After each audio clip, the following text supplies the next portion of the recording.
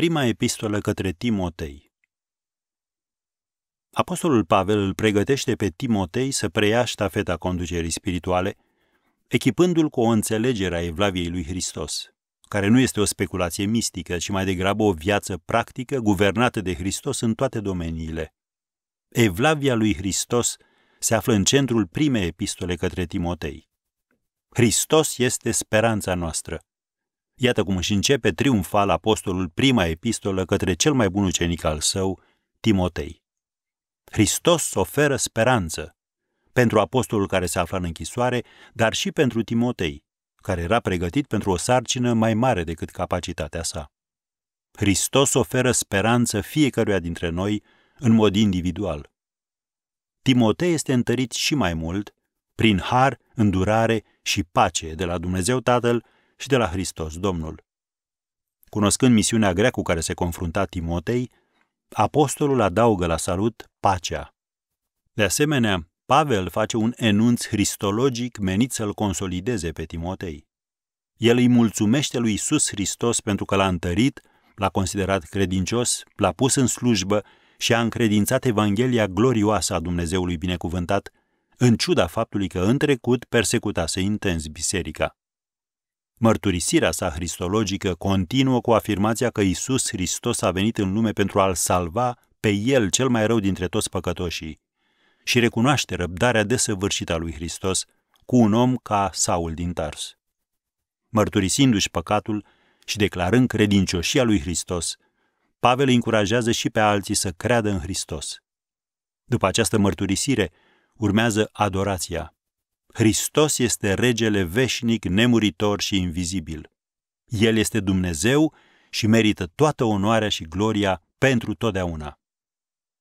Pavel revine la afirmațiile soteriologice și cristologice, prezentându-l pe Hristos ca mediator între Dumnezeu și oameni.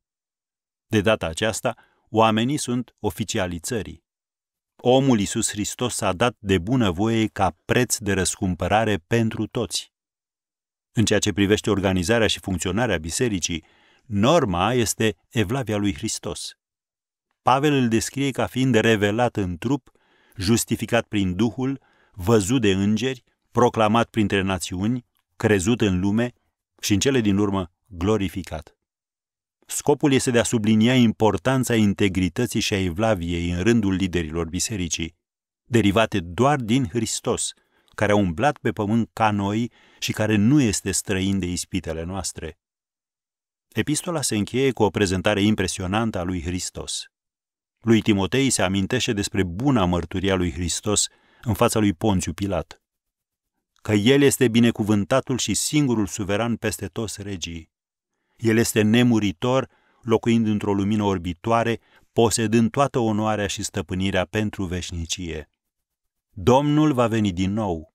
Prin urmare, Timotei este îndemnat să păzească porunca fără pată sau reproș, trăind o viață fără vină și fiind conștient de măreția și puterea lui Hristos.